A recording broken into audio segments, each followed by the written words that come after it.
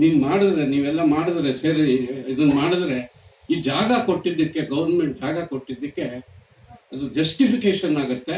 ಅದನ್ನ ಮಾಡಿದ್ರೆ ನನಗೂ ಸಂತೋಷ ಆಗುತ್ತೆ. ನಾವೆಲ್ಲ ಮಾಡಿದ್ದಕ್ಕೆ ಸಂತೋಷ ಆಗುತ್ತೆ. ನೀವೆಲ್ಲ ಮಾಡಿ.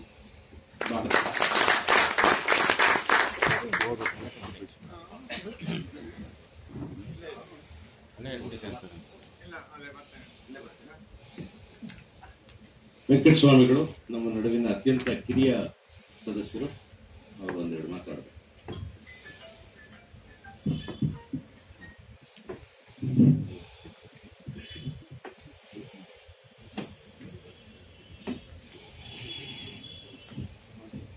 ನಮಸ್ಕಾರ. ನಾನು ಸುಚಿತ್ರಾ ಫಿಲಂ ಸೊಸೈಟಿ ಪ್ರಾರಂಭ ಆದಾಗ ನಾನು ಮೆಂಬರ್ ಆಗಿರಲಿಲ್ಲ. ಒಂದು ವರ್ಷ ಆದ್ಮೇಲೆ ಆಮೇಲೆ ನಾಣಿಯವರು ಪ್ರೆಸಿಡೆಂಟ್ ಆಗಿದ್ರು. ನಾವು ಅದಕ್ಕೆ ಮೊದಲು ನಾಟಕದ ಬಗ್ಗೆ ನಾನು ಹೆಚ್ಚಿಗೆ ನಾವು ಅದ್ರ ಮೇಲೆ ಇಂಟ್ರೆಸ್ಟ್ ಆಗಿ ನಮ್ಮದೇ ಒಂದು ಸಂಸ್ಥೆ ಕಟ್ಟಿ ನಡೆಸ್ತಾ ಇದ್ವಿ. ನಾಣಿಯವ್ರ ಮನೆಗೆ ಹೋದಾಗ ನರರಾವು ಪಿ ವಿ ರಾವು ಅವರೆಲ್ಲ ಇದ್ರು. ಆಮೇಲೆ ನಾವು ನಾಣಿಯವ್ರನ್ನ ಥರ ಇದೆ. ಅವ್ರಿಗೆ ಏಕೆ ನಾವು ಮೇಕಪ್ ಅಂದರೆ ಅವ್ರಿಗೆ ನಮ್ಮ ನಾಟಕಗಳಿಗೆ ಎಲ್ಲಕ್ಕೂ ಮೇಕಪ್ ಅವರೇ. ಅಕಸ್ಮಾತ್ ಕೇಳಿದ್ರೆ ಏನ್ ಸರ್ ಎಷ್ಟು ಕೊಡಬೇಕು ಅಂದ್ರೆ ಏನಾದ್ರು ಮಿಕ್ಕಿದೆಯಾ ಅನ್ನೋನು ಆಮೇಲೆ ಇಲ್ಲ ಅಂದ್ರೆ ಬೇಡ, ಹೋಗಿ ಏನ್ ಮಾಡೋರು ಯಾಕೆಂದ್ರೆ ಆಗಿನ ಸಂಸ್ಥೆಗಳಲ್ಲಿ ಅನೇಕ ಸಂಸ್ಥೆಗಳು ಇದೇ ರೀತಿಯಾಗಿ ಬಂದಿದ್ದರಿಂದ ಒಳ್ಳೆ ಸಂಸ್ಥೆಗಳು ಆದವು, ಬೇಕಾದ ನಾಟಕಗಳು ಆಡ್ತಾ ಇದ್ವು. ಒಂದು ವರ್ಷ ಆದ ಮೇಲೆ ನಾಣಿ ಅವರು ನನ್ನದವ್ರಿಗೆ ಇವ್ರು ನೋಡಿ ಇವ್ರನ್ನ ಎಳ್ಕೊಳ್ಳಿ ಎಂದ್ರು.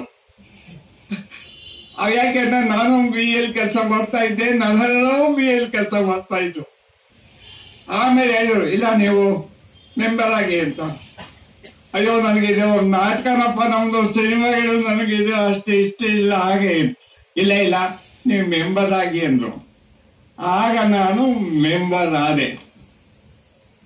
ಮೆಂಬರ್ ಆದಾಗ, ಆಗ ಇದ್ರ ಬಗ್ಗೆ ಸ್ವಲ್ಪ ತನಗೆ ಗೊತ್ತಿತ್ತು. ಏಕೆಂದ್ರೆ, ನಗರರಾವು ಚಾಮರಾಪೇಟೆಯಲ್ಲಿದ್ದು ರಾಘವೇಂದ್ರ ಚಾಮರಾಪೇಟೆಯಲ್ಲಿದ್ದು, ಜಯರಾಮ್ ಗಜೇಂದ್ರ ವಿಲಾಸ್ ಜಯರಾಮ್ ಅವರು ಇವರೆಲ್ಲ ಸೇರ್ಬಿಟ್ಟು ಲೆಕ್ಚರ್ ಹೊಡಿತಾ ಇರೋ ಸುಮ್ಮನೆ ಹರಟೆ ಹೊಡಿತಾ ಇದ್ರು. ಅಯ್ಯ ಸುಮ್ಮನೆ ಯಾಕೆ ಹರಟೆ ಹೊಡಿತಿದ್ದೀರಾ? ಏನಾದ್ರು ಸ್ವಲ್ಪ ಕೆಲಸ ಮಾಡಿ ಯಾವ್ದಾದ್ರು ಸಂಸ್ಥೆ ಕಟ್ಟಿ ಇದು ಮಾಡಿದ್ರೆ. ಆಗ ಸೂಚಿತ ಪ್ರಾರಂಭ ಆದ್ದು.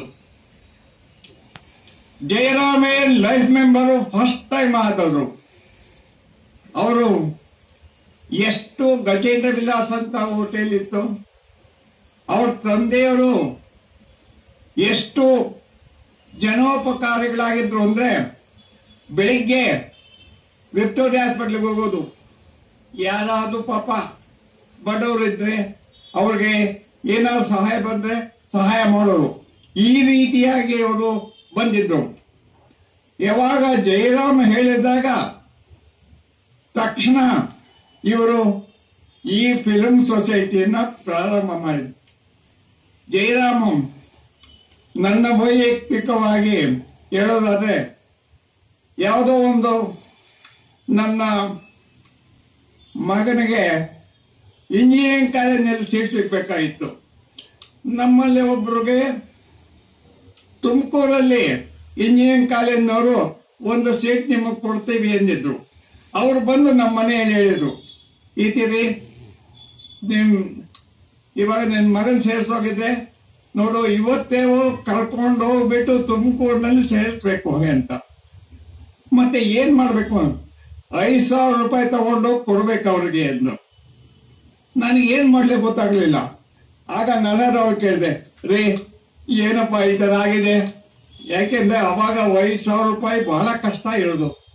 ಅಯ್ಯೋ, ಯಾಕೆ? ಜಯರಾಮನ್ ಕೇಳಿ ಏನ್ಬಿಟ್ರು ಜಯರಾಮ್ ಹತ್ರ ಹೋದಾಗ ಅವರ ಹೋಟೆಲಲ್ಲಿದ್ರು. ನೋಡಿ ಹೇಳಿದೆ, ನೋಡಿ ಜಯರಾಮ್ ಈ ಆಗಿದೆ. ಇವಾಗಲೇ ನನಗೆ ಐದು ಸಾವಿರ ರೂಪಾಯಿ ಬೇಕು. ಇವಾಗ ನಾನು ತುಮಕೂರಿಗೆ ಇವ್ರನ್ನ ಕರ್ಕೊಂಡು ಸೇರಿಸ್ಬೇಕು ಅಂತ. ಕೂತ್ಕೊಳ್ಳಿ ಅಂದ್ಬಿಟ್ಟು ಅಲ್ಲಿ ಸ್ವಲ್ಪ ಮೊಸರನ್ನ ಅದು ತಂದುಕೊಟ್ಟು ತಿಂತಾ ಇರಿ ಬರ್ತೀನಿ ಅಂದ್ಬಿಟ್ಟು ಮನೆಗೆ ಹೋಗಿ ಬಂದು ಐದು ಸಾವಿರ ರೂಪಾಯಿ ತಂದು ಜೋಬ್ನಲ್ಲಿ ಇಟ್ರು ಅಂಥ ಪುಣ್ಯಾತ್ಮರು. ಅವರ ಒಂದು ಏನು ಪರೋಪಕಾರಿ ಎಷ್ಟು ಸಹಾಯ ಮಾಡಬೇಕು ಅಂದ್ರೆ ಅಷ್ಟು ಮಾಡೋರು. ಪ್ರತಿಯೊಂದು ಇದರಲ್ಲಿನೂ ನಾವು ಮೀಟಿಂಗ್ ಆದರೆ ಜಯರಾಮ್ ಹೋಟ್ಲಿಂದ ತಿಂಡಿ, ಕಾಫಿ ಫ್ರೀ ಯಾಕೆಂದ್ರೆ ಅವಾಗೆಲ್ಲ ಏನಿತ್ತು ನಮ್ಮಲ್ಲಿ ಫಂಕ್ಷನ್ ಫೈನಾನ್ಸ್ ಇರಲಿಲ್ಲ. ಆ ರೀತಿಯಾಗಿ ಬಂದದ್ದು ಈ ಫಿಲ್ಮ್ ಸೊಸೈಟಿ ನಸ್ತಾಳಜಯ ಮಾಡಿದಾಗ ಈ ಬೆಂಗಳೂರಲ್ಲಿ ಆರು ಥಿಯೇಟರ್ ಬುಕ್ ಮಾಡಿ ನಸ್ತಾಳಜಯ ಮಾಡಿದ್ದು. ಆರು ಥಿಯೇಟರ್ ಎರಡು ವಾರ, ಮೊದಲೇ ವಾರ ಮೈನಸ್ ಏಕೆಂದ್ರೆ ಅವಾಗ ರಾಜ್ಕುಮಾರ್ ಯಾವುದೋ ಒಂದು ಥಿಯೇಟರ್ ಓಪನ್ ಮಾಡ್ತಾ ಇದ್ದಾಗ ಅಲ್ಲಿ ಗಲಾಟೆ ಆಗೋಯ್ತು. ಅದಕ್ಕೆ ನೋಡ್ಬಿಟ್ರು ಪೊಲೀಸ್ನವ್ರು ನೀವು ಹೆಚ್ಚಿಗೆ ಪ್ರಚಾರ ಕೊಡಕೂಡ್ದು ಹಾಗೆ ಹೇಳ್ಬಿಟ್ರು ಆದರೆ ಏನು ಮಾಡೋಕ್ಕಾಗಲ್ಲ ನಾವು ಶುರು ಮಾಡ್ಬಿಟ್ಟಿದೀವಿ. ವಿಜಯಮ್ಮನವರು ಇದ್ರು ಅವಾಗ. ಅವರ ಕಂಟ್ರಿಬ್ಯೂಷನು ಬೇಕಷ್ಟು ಆಗಿದೆ ನಮ್ಮ ಸುಚಿತ್ರಾಗೆ. ನಂತರ ಸೆಕೆಂಡ್ ವೀಕ್ನಲ್ಲಿ ಆಗಲ್ಲ ಇವಾಗ ಲಾಠಿ ಚಾರ್ಜ್ ಆಯ್ತು ಅಂತ. ಕಲ್ಪನಾ ಥಿಯೇಟ್ರಲ್ಲಿ ಯಾಕೆಂದ್ರೆ ಫಸ್ಟ್ ನಾವು ಫಾರಿನ್ ಪ್ಯಾಕೇಜು ಈ ಥಿಯೇಟರ್ ಬಿಟ್ಟಿರಲಿಲ್ಲ. ಬಾಲ್ಭವನಲ್ಲಿ ಮಾತ್ರ ಮಾಡ್ತಾ ಇದ್ವಿ. ಇಲ್ಲಿ ಥಿಯೇಟರ್ ಬಿಟ್ಟಾಗ ಅದಕ್ಕೆ ಕೆಲವು ಸಿನಿಮಾಗಳು ಬರ್ಗ್ಮನ್ ಸಿನಿಮಾಗಳಲ್ಲಿ. ಅದರಲ್ಲಿ ಸ್ವಲ್ಪ ಸೆಕ್ಸ್ ಇದ್ರ ಮೇಲೆ ಬಂದಿದ್ದಕ್ಕೆ ಸಿಕ್ಕಬಡ ರಶ್ ಆಗೋಯ್ತು. ಆ ತರ ಆದವು. ಆಗ ನಮ್ಮಲ್ಲಿ ಈ ನಷ್ಟಾದಲ್ಲಿ ಮಿಕ್ಕಿದ್ದು ಮೂವತ್ತು ಸಾವಿರ ರೂಪಾಯಿ. ಈಗೇನಾದ್ರು ಮಾಡಬೇಕಲ್ಲ? ಆಗ ನೋಡಿದ್ರೆ ಥಿಯೇಟರಲ್ಲಿ ಪ್ಯಾಕ್ ಆಗೋದ್ರು ಯಾರು ಹೌಸ್ಫುಲ್ ಶೇರ್ ಕೊಡ್ಲಿಲ್ಲ ನಮಗೆ. ಆಗ ಅನ್ಕೊಂಡ್ವಿ, ಇವ್ರನ್ನ ನಂಬಿದ್ರೆ ಫಿಲ್ಮ್ ಸಿಟಿ ನಡೆಯಲ್ಲ. ನಮ್ದೇ ಸ್ಥಳ ಬೇಕು. ಏನಾದ್ರು ಮಾಡೋಣ ಅಂದಾಗ ಬಿ ಡಿ ಎಗೆ ಅವಾಗ ಅಪ್ಲೈ ಮಾಡಿದ್ದು. ಅಪ್ಲೈ ಮಾಡಿದಾಗ ಸೋಮಣ್ಣವರು ನಮ್ಮ ಸುಬ್ರಾಯರು, ಅವರು ಬಹಳ ಸ್ನೇಹಿತರು. ಆ ಟೈಮ್ನಲ್ಲಿ ಆಗಲೂ ಸುಲಭ ಸುಲಭ ಹಾಕಿದ ತಕ್ಷಣ ಸಿಕ್ಕಿಲ್ಲ. ಅದೇನಾಯ್ತು? ಕಮಿಟಿ ಮುಂದೆ ಬಂತು. ಅದಕ್ಕೋಸ್ಕರ ನಾವೆಲ್ಲ ಕೆಲವು ಕಮಿಟಿ ಮೆಂಬರ್ಗಳೆಲ್ಲ ಹೋಗಿದ್ವಿ ಅವ್ರು ಮೀಟ್ ಮಾಡಿ ನೋಡಿ, ಈ ಥರ ಅಪ್ಲೈ ಮಾಡಿದ್ವಿ ನಮ್ಮ ಫಿಲ್ಮ್ ಸೊಸೈಟಿಗೆ ಸ್ಥಳ ಕೊಡಿಸ್ತೆ ಹಾಗೆ ಅಂತ. ಅದೇನಾಯ್ತು? ಕಮಿಟಿ ಮುಂದೆ ಬಂದಾಗ ಟಿ ಆರ್ ಶಾಮಣ್ಣ ಅವ್ರಿಗೆ ಕೊಡೋದು ಹಾಗೆ, ಹೇಗೆ ಅಂದ್ಬಿಟ್ಟು ಇನ್ನೊಬ್ಬ ಮೆಂಬರು ಕೊಡಬೇಡಿ ಅಂದರು. ಯಾಕೆಂದ್ರೆ ಇದು C A site. C A site ಕೊಡಬೇಕಾದ್ರೆ ಯುನಾನಿಮಸ್ ಆಗಬೇಕು ಎಲ್ಲರೂ ಇಲ್ದಿದ್ರೆ ಕೊಡೋದಿಲ್ಲ. ಪಕ್ಕಕ್ಕೆ ಇಟ್ಬಿಟ್ರು ಆಮೇಲೆ ನಮಗೆ ಮಾರನೇ ದಿವಸವೇ ಗೊತ್ತಾಗೋಯ್ತು. ಯಾಕೆಂದ್ರೆ ನಮ್ಮ ಸ್ನೇಹಿತರು ಸೋಮಶೇಖರ್ ಇದ್ದರು ಅವ್ರು ಸೋಮೇಶ್ವರ. ಅವ್ರ ಬ್ರದರು ಆ ಮೆಂಬರು ಫ್ರೆಂಡ್ಸು ಅವ್ರೇನು ಮಾಡ್ಬಿಟ್ರು ಅವರು ಬೈ ಚಾನ್ಸ್ ಅವ್ರ ಮನೆಗೆ ಹೋಗಿದ್ದಾಗ, ನೋಡಿ ಈ ಥರ ಆಯಿತು. ಈ ಥರ ಫಿಲ್ಮ್ ಸುಟ್ಟಿ ಇರೋದು ಬೇಡ ಅಂದ್ಬಿಟ್ಟೆ. ಹಾಗೆ ಅಂದ್ರು. ನಮಗೆ ಆಶ್ಚರ್ಯ ಏನಪ್ಪ ಮಾಡೋದು ಅಂತ. ಆಯ್ತು.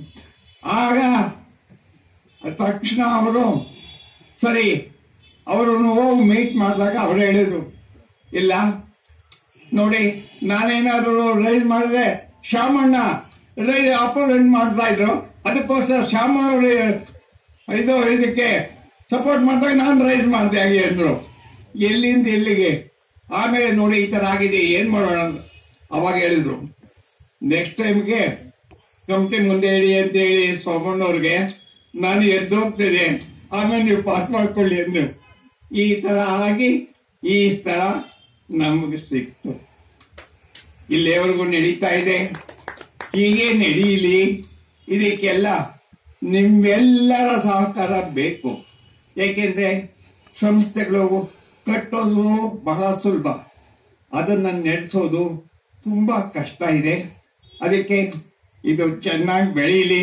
ಇಲ್ಲೆಲ್ಲ ನಿಮ್ಮ ಸಹಕಾರ ಇರಲಿ ಅಂತ ಹೇಳಿ ನಾನು ಮಾತು ಮುಡಿಸ್ತೇನೆ ನಮಸ್ಕಾರ.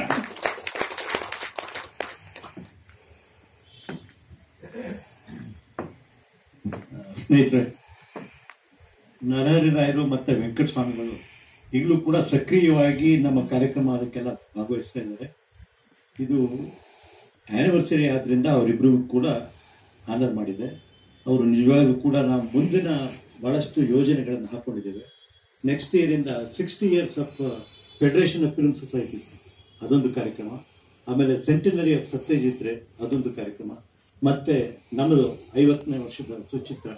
ಇದರಲ್ಲೆಲ್ಲದರಲ್ಲೂ ಕೂಡ ನಮ್ಮ ನರರಾಯರು ಮುಂದಾಳತ ತಗೊಂಡು ನಮಗೆಲ್ಲ ಸಹಕಾರ ಕೊಡಬೇಕು. ಅದೇ ರೀತಿ ನಮ್ಮ ವಿಜಯಮ್ನವರು ಮುಖ್ಯವಾಗಿ ಅವರು ಹೆಚ್ಚು ನಮ್ಮ ಜೊತೆ ಇರಬೇಕು ಅಂತ ಇನ್ನೊಮ್ಮೆ ಈಗಲೇ ಕೇಳ್ಕೊಳ್ತಾ ಇದ್ದೇನೆ. ಯಾಕೆಂದ್ರೆ ಅವ್ರ ಪುಸ್ತಕ ಅದು ಬರೆಯೋದಕ್ಕೆ ಶುರು ಮಾಡುವಂತ ಕಷ್ಟ ಆಗುತ್ತೆ ಅದರಿಂದ ದಯವಿಟ್ಟು ಅದು ಸರ್, ನೀವಿಬ್ರು ಬಂದು ಹಲವಾರು ವಿಷಯಗಳನ್ನ ತಿಳಿಸ್ಕೊಟ್ಟಿದ್ದೇವೆ.